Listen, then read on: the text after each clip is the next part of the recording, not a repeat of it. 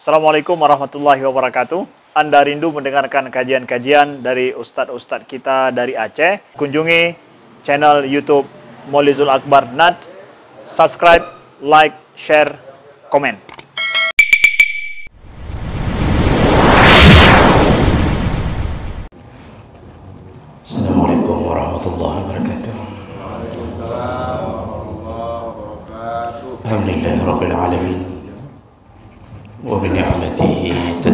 الصالحات أشهد أن لا إله إلا الله وحده لا شريك له. وأشهد أن محمدا عبده ورسوله الكريم. اللهم صل وسلم لنبينا وسيدنا المصطفى محمد وعلى آله وأصحابه أجمعين. أما بعد رب اشرح لي صدري ويسر لي أمري. واحلل عقدة من لساني يفقه قولي Segala puji bagi Allah Kemudian salawat dan salam pada Rasulullah Pada keluarga dan seluruh sahabat-sahabatnya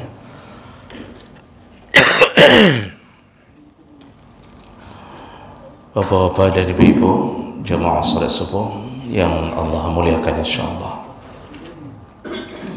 Kita masih Membahas tentang Salat Salat sunnah. Di pertemuan yang lalu Kita sudah membahas tentang Salatul hajah Dan salatul taubah. Jadi Salat hajat itu ada dan disunnahkan ketika kita ingin meminta sesuatu yang terkhusus bagi Allah maka dirikanlah salat dua rakaat ya, lalu setelah itu berdoa dah untuk meminta apa yang kita inginkan lalu salat taubah pun adalah salat yang disunnahkan sebagai penggiring taubat. Jadi bukan salat taubat bermakna sudah taubat. Tapi salat mengiringi taubat. Karena taubat yang sebenarnya itu bukan karena salat sunnah taubat, tapi taubat yang sebenarnya apabila sudah memenuhi lima syarat. Yaitu ikhlas, lalu menyesali, lalu kemudian tidak mengulangi lalu kemudian berjanji selama-lama tidak akan terjadi lagi dan bertaubat sebelum datangnya sakaratul maut. Lima syarat ini sudah dipenuhi dianggap taubat. Nah penggiringnya adalah salat sunnah taubat. Baik itu sekedar pengingat ulang apa yang kita bahas di pertemuan yang lalu. Kita sambung. Pagi hari ini kita akan bahas tentang salat sunnah berikutnya yaitu salat sunnah safar ya, salat sunnah safar dari bahasanya tentu kita sudah bisa menebak bahawa ini adalah salat sunnah bagi yang melakukan safar. Jadi salat seorang musafir itu banyak diringankan oleh Allah. Jadi musafir itu orang yang diringankan urusan lalu dimudahkan untuk diterima doanya. Jadi cepat terkabul doa musafir. Kenapa begitu karena ada satu hadis Nabi yang menyebutkan bahawa Rasulullah sallallahu alaihi wasallam telah mengatakan as-safar qita'atun minal azab. Safar itu atau orang yang melakukan safar pasti dia mendapatkan qita'atun minal azab yaitu potongan-potongan azab jadi orang musafir itu tetap mendapatkan banyak kesusahan. Walaupun kenderaannya kenderaan mewah kesusahan itu tidak bisa dihilangkan. Ada kalanya susah dalam fasilitas ketika berjalan adanya ada kalanya susah dalam keadaan dirinya. Jadi karena terlalu lelah perjalanan panjang dia berubah jadi sakit. Tadi waktu berangkat sehat lalu sakit. Perjalanan 12 jam 9 jam di atas pesawat. Sampai ke sana ya, lelahnya biasa dan itu bisa menjadi potongan azab. Dan macam-macam yang lain fasilitas pun begitu. Sewaktu kita umrah kita pikir kita akan banyak menerima kemudahan dalam perjalanan. Ternyata mulai dari naik pesawat saja ya, itu menunggu menunggu pesawat saja itu macam-macam bisa terjadi. Belum lagi di atas pesawat apalagi tipe pesawat umrah itu ada yang model tidak diatur nomor bangku jadi sudah di situ sudah bertengkar-tengkar dalam pesawat. Yang ingin duduk dengan istrinya dapat istri orang. Ya, begitu. Jadi ada istri yang komplain suaminya kok nggak di sampingnya. Ternyata tidak beraturan. Di situ dalam pesawat sudah sudah bertengkar. Turun kami turun di Madinah, pikir kamar mandinya sehat. Rupanya di bandara Madinah, semuanya macet. Semua kamar mandi tidak bisa pakai. Air semua tergenang. Bayangkan, 9 jam kita bertahan, sampai di sana tidak ada tempat. Jadi itu yang Nabi maksud, orang safar itu banyak menerima ujian dari Allah itu safar yang kita alami hari ini dengan berbagai fasilitas mewah bagaimana dengan keadaan dulu yang naik unta sampai berhari-hari baru sampai Mekah Madinah saja bisa sampai tujuh hari? Mekah Madinah hari ini kita tujuh jam. Ya, karena sudah dibuat jalan aspal tembus tanpa halangan. Dulu mana ada? Dulu di padang pasir naik dari satu bukit ke bukit yang lain untuk menembus jalan. Oleh karena itu semuanya Allah mudahkan segala urusan bagi musafir. Nah ini menyebabkan doanya musafir lebih mudah diterima. Makanya ketika Rasulullah menyatakan tentang orang-orang yang tidak orang-orang yang ditolak doanya oleh Allah Allah uh, Rasulullah memberi tamsilan pada musafir kata Rasulullah ada seorang laki-laki rajulun fi safar. Ada seorang laki-laki melakukan perjalanan. Ash'asa wa aghbar. Itu badannya sudah uh, berdebu. Bajunya sudah berdebu. Tampilannya sudah kusut. Karena sudah berhari-hari di padang pasir. Lalu kemudian dia mengangkat tangannya kepada Allah. Dan dia berkata, Ya Rabbi, Ya Rabbi.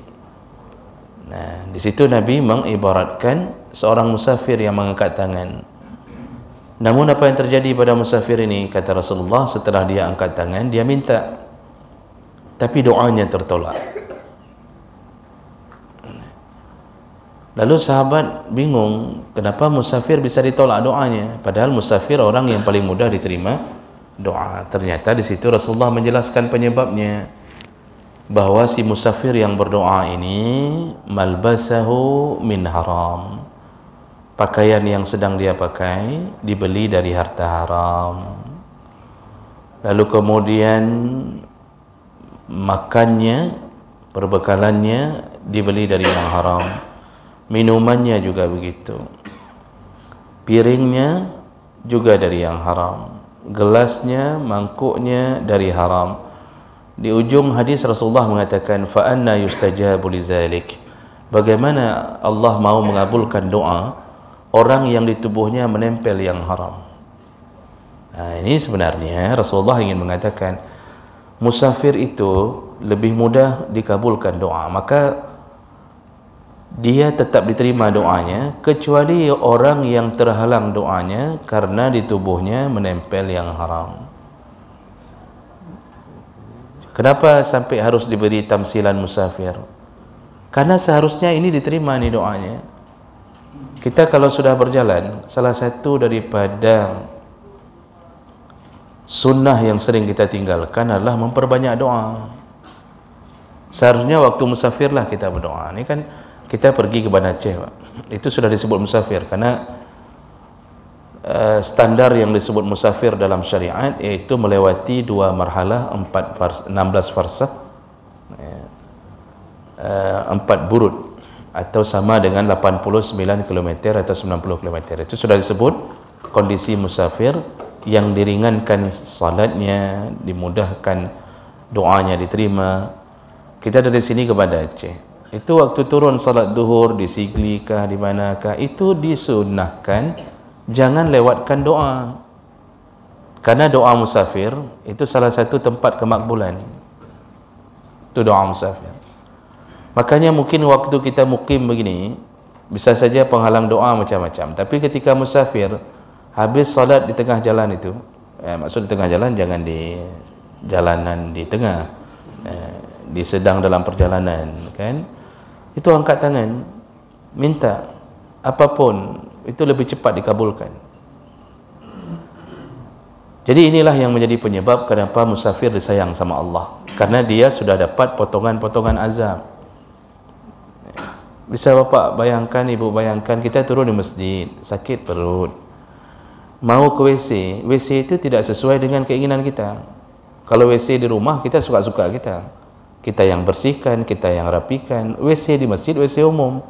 Begitu buka, Masya Allah kadang-kadang kotornya luar biasa. Belum lagi ada sejarah-sejarah keemasan orang-orang sebelumnya. Ya.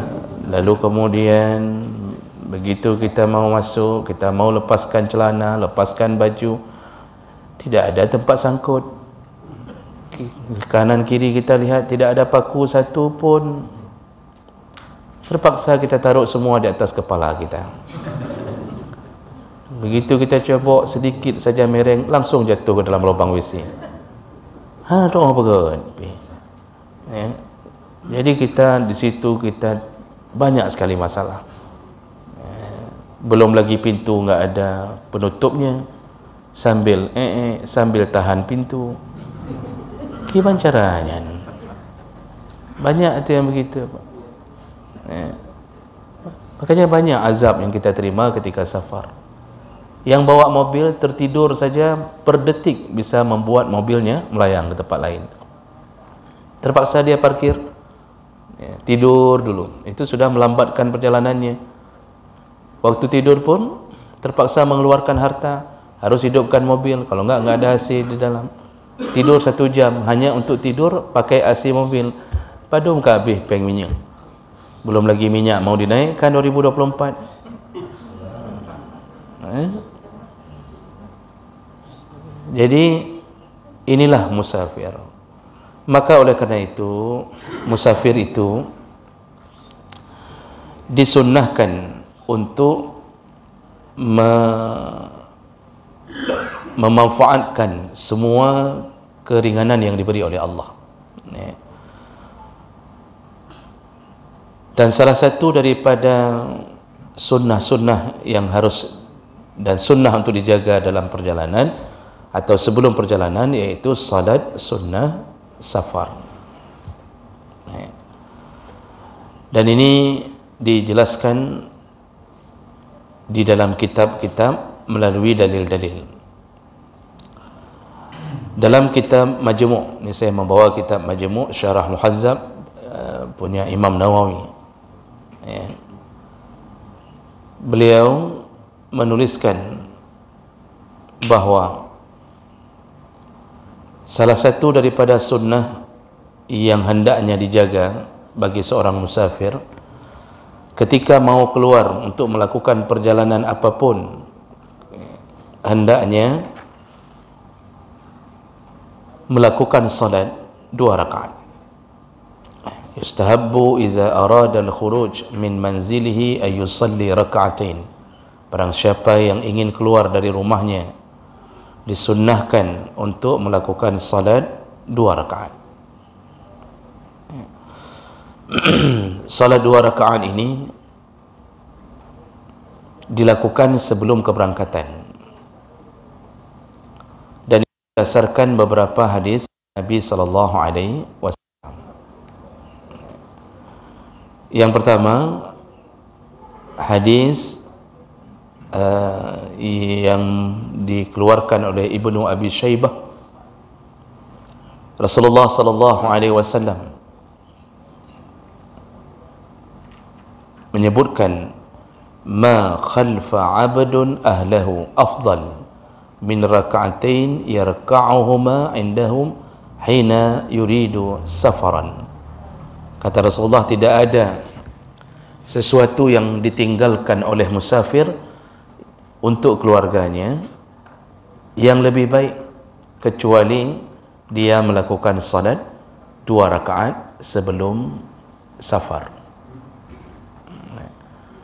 Jadi Nabi mengatakan tidak ada yang lebih baik yang kita tinggalkan untuk orang yang kita uh, titipkan kepada Allah ini kan kita mau pergi, istri tinggal, anak tinggal. Kata Nabi dalam hadis ini, enggak ada yang lebih baik. Maksudnya kita kan banyak meninggalkan yang baik-baik. Nafkah kita kasih. Ini selama bapak pergi, ini uang ya untuk hidup ya. Uh, jadi kita kasih uang untuk bisa bertahan hidup. Atau kita tinggalkan apapun lah. Kita tinggalkan rumah untuk mereka bisa tetap bernaung. Tapi yang utama kata Rasulullah, yaitu ketika kita melakukan salat sunnah dua rakaat di dalam rumah itu sebelum kita berangkat. Itulah yang kita tinggalkan yang terbaik. Karena itu yang akan menyebabkan datangnya perlindungan dan keamanan dari Allah kepada keluarga yang kita tinggalkan. Ini hadis yang pertama. Lalu ada hadis dari Anas bin Malik radhiyallahu anhu, hadis riwayat Al-Hakim disahihkan. Ya, bahkan Imam Al-Bani pun mensahihkan. Apa kata Rasulullah?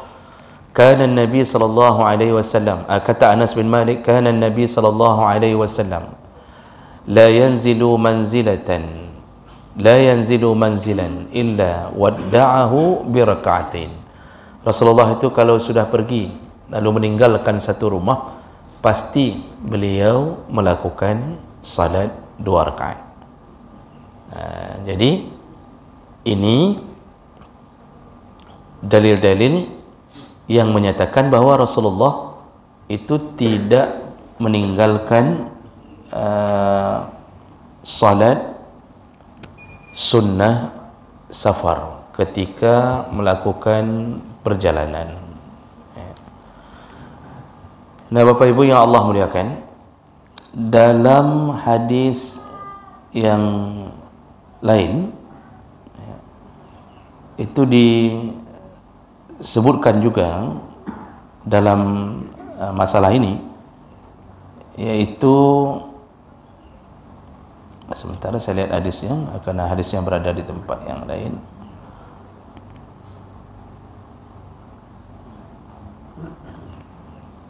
Hadis riwayat Imam Al-Baihaqi juga disebutkan dengan derajat yang sahih Rasulullah mengatakan iza kharajta min manzilika kalau engkau keluar dari rumahmu fasalli raka'atain salatlah dua rakaat. Tamna'anika makhrajas su. Kalau engkau salat dua rakaat tadi maka salat itu akan menghalangimu dari kejelekan. Salat dua rakaat yang kau lakukan sebelum berjalan akan menghalangimu dari su. Su itu berbagai kejelekan. Wa iza dakhalta ila manzilika nanti kalau engkau pulang dari safar fasalli raka'atain. Salat lagi lah dua rakaat. Tamna'anika madkhala su.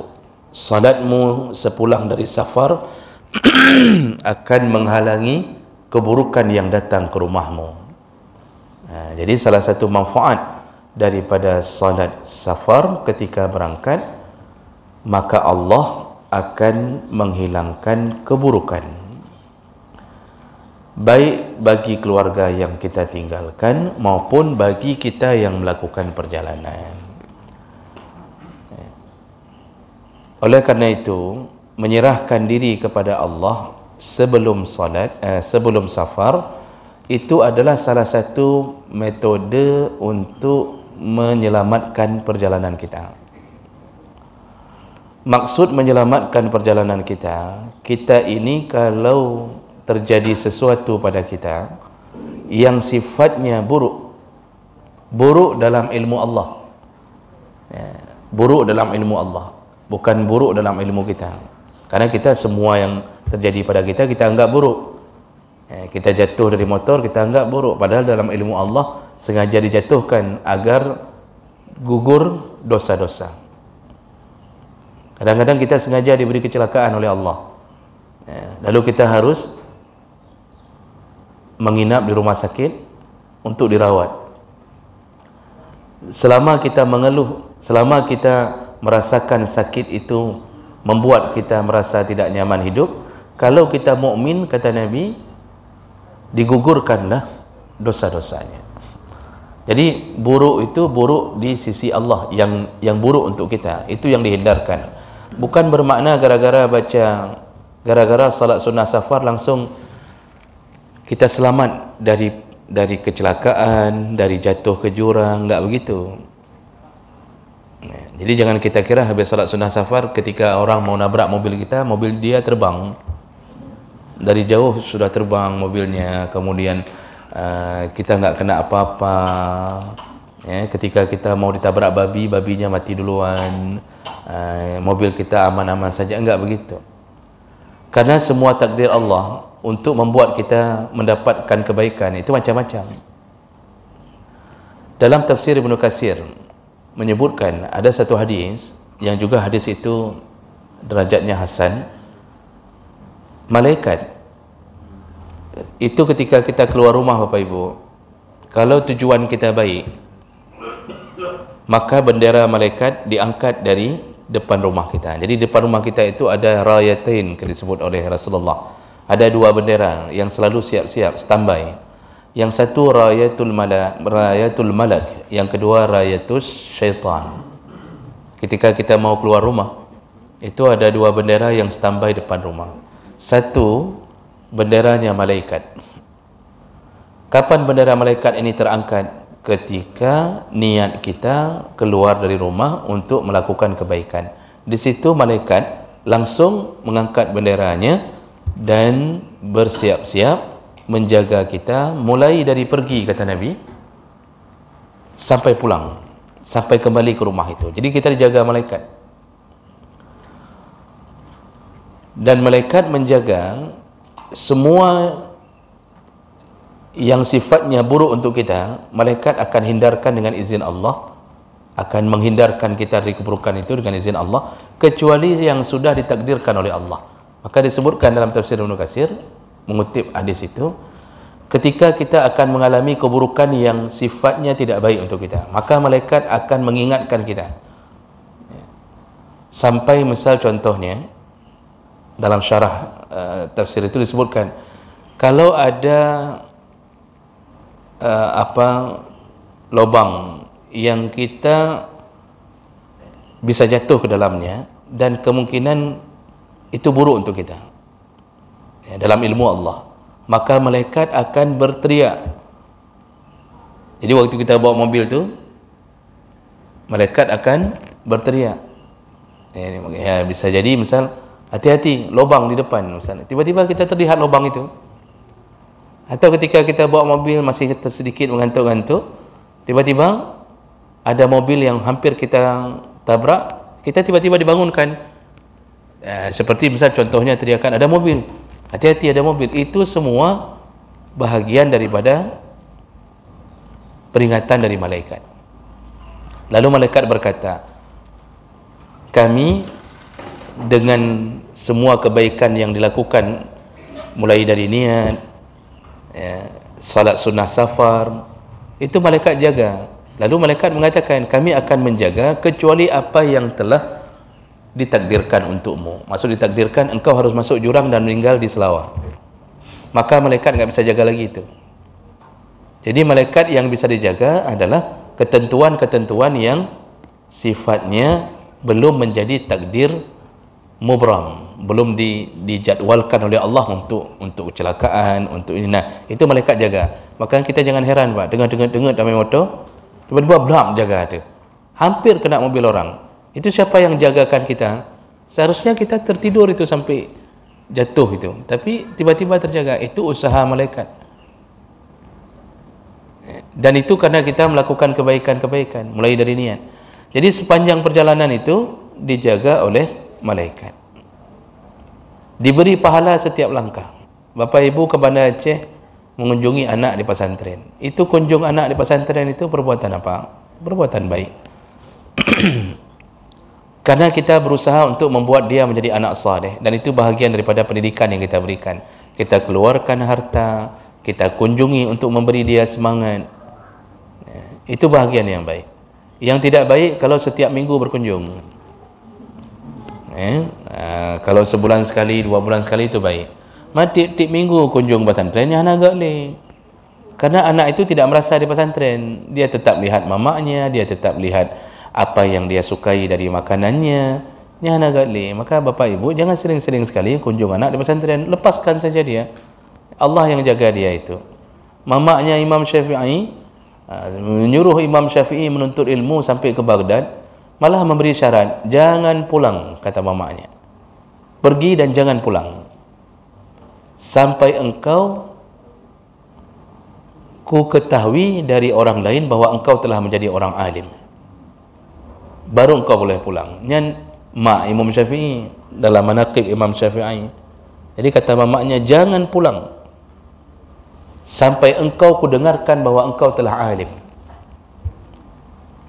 Padahal mamaknya enggak ada lagi suami. Imam Syafi'i itu sudah meninggal ayah dari umur 2 tahun. Mamaknya tinggal sendiri di kota Mekah setelah pindah dari Gaza. Enggak boleh pulang. Imam Syafi'i sampai protes kok enggak boleh pulang. Mamak tinggal sendiri. Kata mamaknya jangan. Jangan pulang. Syaratnya alim baru kau boleh pulang. Sampai akhirnya Imam Syafi'i pergi dengan berat hati karena keadaan mamaknya yang sendiri. Mamaknya mengatakan, "Nak, kalau seandainya kita tidak bertemu di dunia ya, maka kita bertemu di surga. Itu pesanan mamaknya ya. ini mamak hari ini tenang nak. Hari Kamis mamak datang. Pokoknya Senin Kamis mamak datang. Kamu tenang aja ya. nah, mamak datanglah tiap Senin Kamis. Makanya anak ilmunya Senin Kamis. Musapu hai depu gaduh preh-preh mai dan Imam Syafi'i baru pulang. Setelah ada seorang ulama dari Baghdad yang memberi pengajian di kota Mekah di Masjidil Haram lalu tiba-tiba menyebut nama ulama muda yang muncul di Baghdad. Kebetulan mamaknya Imam Syafi'i ini setelah umur 18 tahun Pak berangkat dari sekitaran umur 9 atau 10 tahun setelah hafal Quran di Mekah. Jadi 8 tahun enggak pulang-pulang. 8 eh, sampai 10 tahun lah kira-kira begitulah enggak pulang-pulang. Dan ketahuan bahawa beliau telah menjadi orang alim dan diakui ulama dari Baghdad ini beri pengajian kota Mekah Masjidil Haram. Dalam pengajian baru diceritakan kami di Baghdad uh, telah muncul seorang ulama muda uh, pintarnya luar biasa. Uh, dan kebetulan mamanya ikut mengaji di tempat itu Disitulah disebut namanya Muhammad bin Idris Ash-Syafi'i. Begitu disebut nama itu, meledaklah tangis mamanya. Nama anaknya disebut sebagai orang alim. Dan bingung semua jamaah pengajian di situ, ada apa ibu ini? Kok nangis tiba-tiba? Padahal ceritanya bukan cerita sedih. Ah, barulah dipanggil oleh syekh itu. Ini dalam manaqib Imam Syafi'i ditulis ini. Eh, dipanggil oleh syekh itu, kemudian ditanya, ada apa? Kenapa engkau menangis? Barulah dikatakan nama yang engkau sebutkan tadi adalah nama anakku.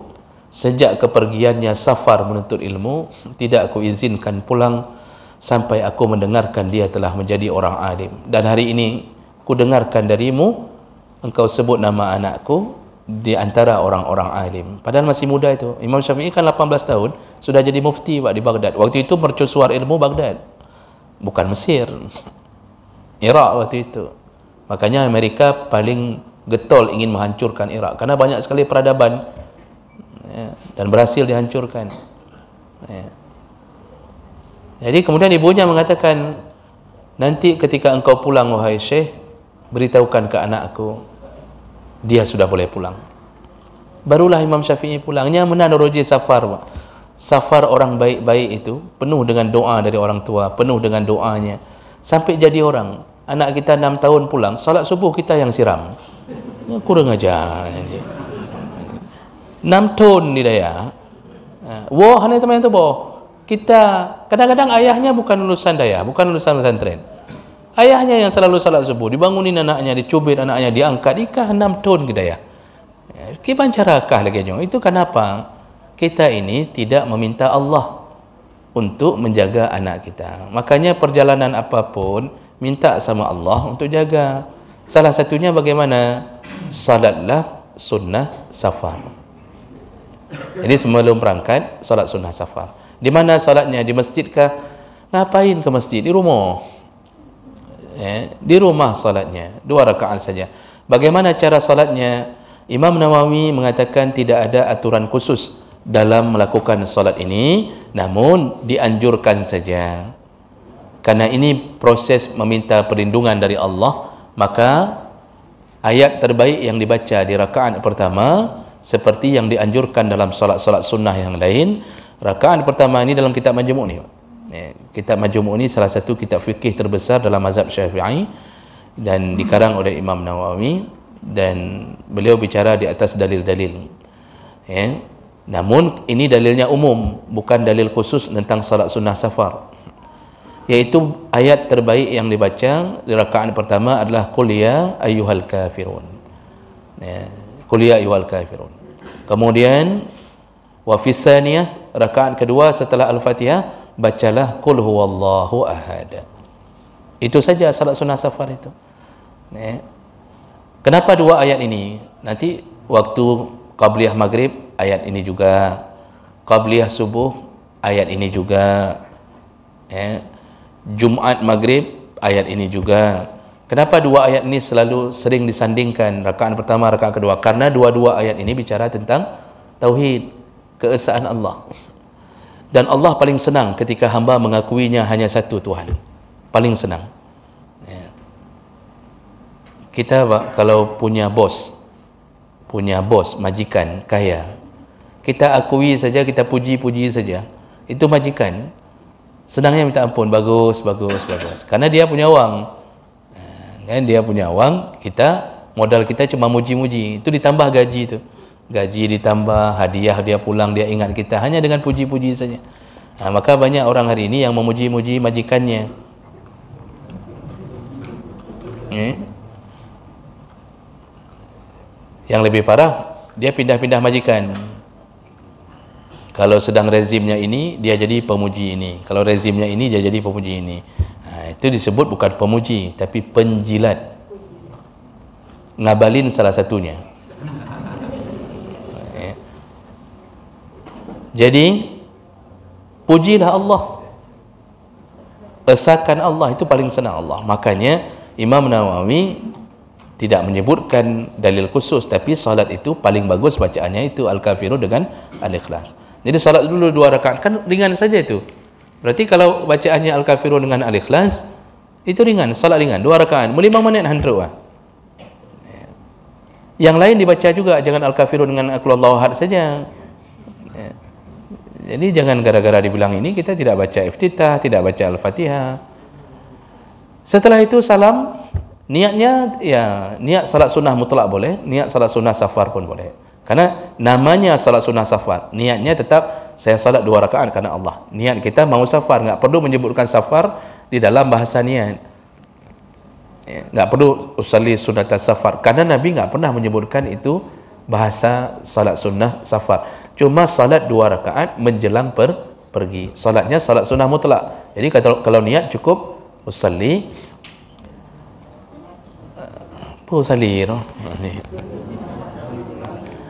Ha, boleh salat sun, menyebut saja sengaja aku salat dua rakaat. Ya sunnah kerana Allah taala. Itu saja sudah sudah aman itu. Dah. Lalu setelah itu berangkat. Nah waktu keluar dari rumah agar sempurna perlindungan Allah itu berdiri dulu di pintu pak. Mobil sudah dikeluarkan dari garasi. Di pintu berdiri.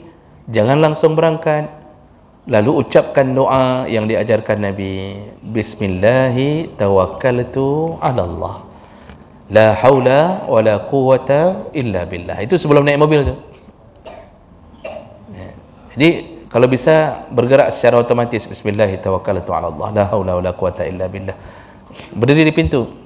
Kalau sudah baca doa ini maka syaitan mengatakan kepada semua pasukannya begitu dengar bibir kita mengucapkan karena syaitan kan ada karin kita ini punya karin tadi bendera malaikat. Kalau kita ingin berbuat baik yang terangkat bendera malaikat. Kalau kita ingin pergi dari rumah ingin melakukan kejahatan yang diangkat bendera syaitan. Syaitan yang lindungi.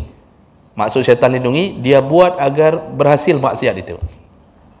Makanya pencuri kenapa enggak takut jalan jam 3 malam? Karena ada syaitan yang melindunginya dan syaitan enggak akan mengganggu pencuri Pak. makanya pencuri enggak pernah lihat kuntilanak. Karena sesama syaitan enggak boleh saling ganggu. Yang lihat kuntilanak siapa? Yang mau solat tahajud. Eh, yang pergi subuh dikejar anjing. Cuba pencuri datang. Anjing enggak kejar. Karena sama-sama anjing. Memang dilindungi oleh syaitan. Itu hadis Nabi. Diangkat bendera syaitan dilindungi oleh syaitan. Sampai jadi maksiat itu yang berzina diberi terus dipompa semangatnya teruslah terus. Harus jadi. Ya, ini kesempatan ni ini lagi diskon ni. Eh, kata si setan ai diskon. Uh, pelacurnya diskon maksudnya. Dijadikan pak. Itu kalau niat rencana berbuat buruk. Nah, makanya kita ini punya karin punya syaitan jin penjaga. Di kanan malaikat di kiri. Itu ada jin. Ni sekarang ada dia ni. Ini ada ni Jangan lihat saya pak. Waktu dibilang syaitan lihatnya ke saya. Lihatnya ke samping saya lah. Ini sebelah kiri dia. Di semua kita ada di sebelah kiri kita semua. Eh. Apa kata syaitan ketika mendengarkan kita keluar rumah tutup pintu kunci setelah itu berdiri di pintu rumah Bismillahirrahmanirrahim la haula wala quwata illa billah syaitan berkata kepada pasukannya ini hadis Nabi kata syaitan eh, bagaimana kita bisa menggoda orang ini lagi?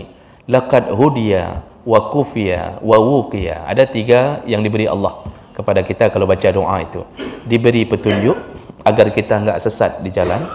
Maksud enggak sesat bukan jalannya. Jangan sampai ada perilaku yang membuat kita tersesat. Laqad hudiya kata syaitan. Ini orang sudah dijamin diberi petunjuk.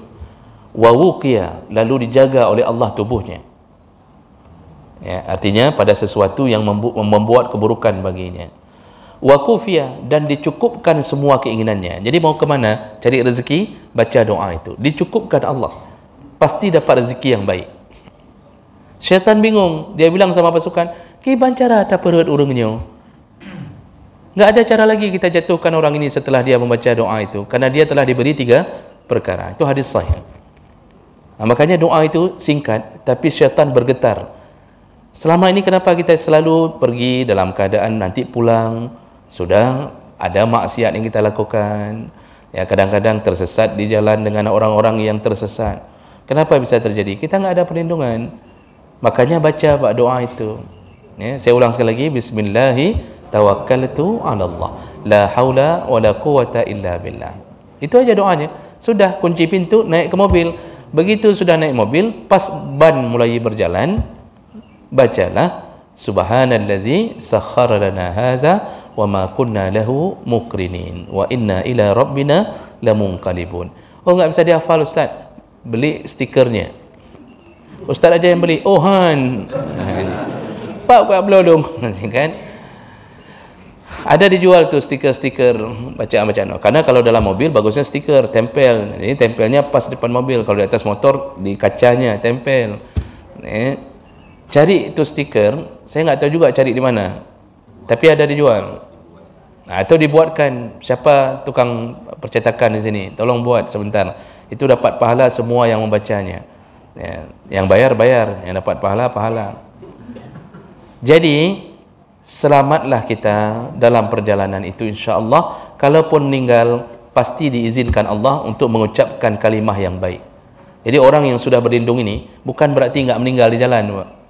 Bukan bukan berarti enggak digilas sama truk bukan berarti enggak kecelakaan tetap namun Allah beli uh, apa keselamatan dalam imannya kita kalau sudah begitu begitu mau tertabrak Orang kan kalau enggak baca apa-apa perlindungan, ketika mau kecelakaan, mungkin dia akan mengucapkan kalimat-kalimat kebiasaannya. Misalnya ada yang mengucapkan, oh ma kapalo. Ha, begitu cuma. Jadi kalimat terakhir, oh ma kapalo.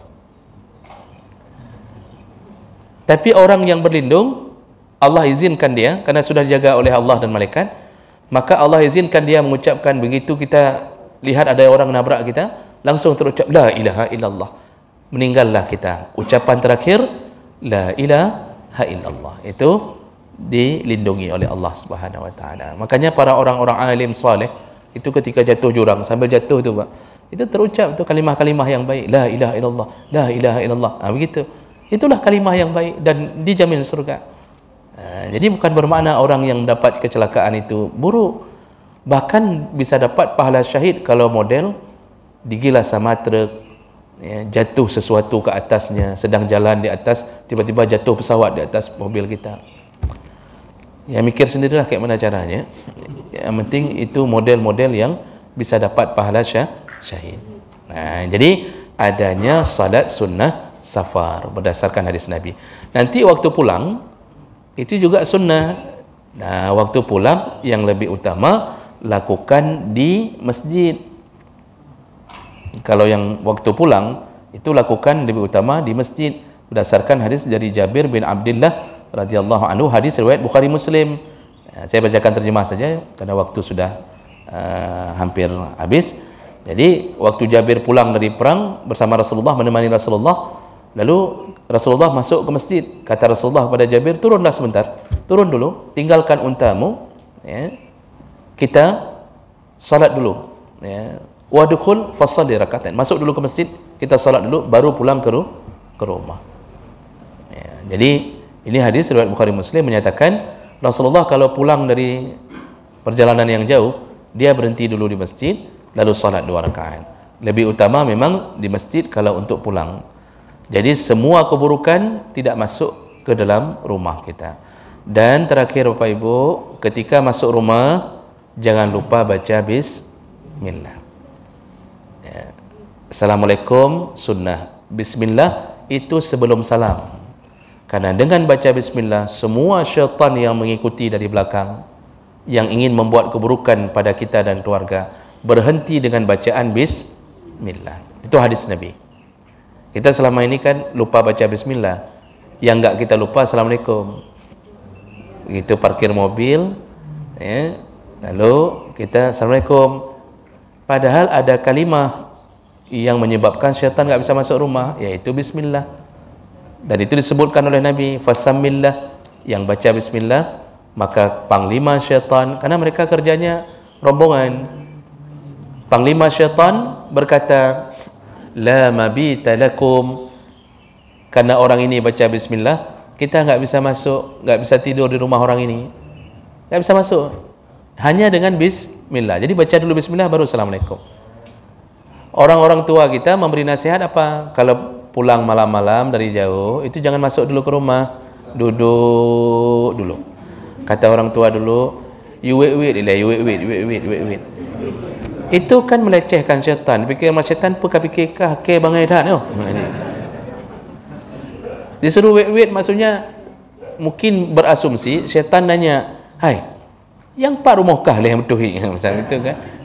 Disuruh jangan jangan jangan masuk dulu. Suruh keliling-keliling ke rumah tetangga biar setannya ke rumah tetangga dulu. Apalagi tetangga yang enggak bayar air kan. Kita ke sana sana. Enggak itu kan melecehkan setan juga. Setan tu enggaklah sebodoh itu. Setan tu juga ada yang S3 ada yang profesor tergantung Pak. Itu semua tidak benar. Enggak perlu nunggu-nunggu depan rumah untuk mengalihkan syaitan cukup baca bismillah langsung menghambur madum syaitan tak bisa masuk makanya orang yang dipenuhi dengan kalimah-kalimah baik dalam rumahnya atau masuk ke rumahnya itu rumah aman, berkah, isteri enggak banyak nonton sinetron, sibuk masak untuk suami. Eh, itu contoh yang banyak baca bismillah. Tapi yang enggak ada bismillah, enggak masak-masak, nonton sinetron, nonton sinetron. Nanti nontonnya pertandingan masak-masak. Masak enggak? Nanti ribut lagi, ribut lagi. Anak-anak enggak pulang-pulang solat enggak semua. Kenapa? Enggak ada bacaan-bacaan yang baik dalam rumah. Suami, ya suami temperamental. Pukul sana, pukul sini. Tendang sana, tendang sini. Banting barang. Kalau dia banting harga, tak apa-apa ni dia banting barang, dia pukul isterinya. Kenapa? Enggak ada bacaan-bacaan yang baik di dalam rumah tersebut.